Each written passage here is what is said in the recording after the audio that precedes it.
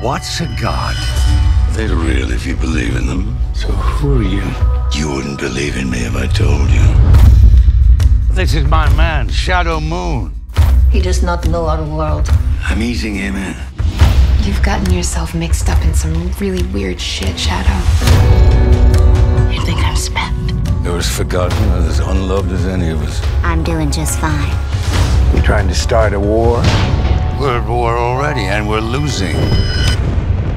Who's after you? Times they are changing. We need you to fight them, to show them who we are. They are gods, for God's sake! So what's the plan? War. Deliver me, deliver me. None of this feels real. It feels like a dream. And Things are never going back to the way that they were. It will be glorious, win or lose. deliver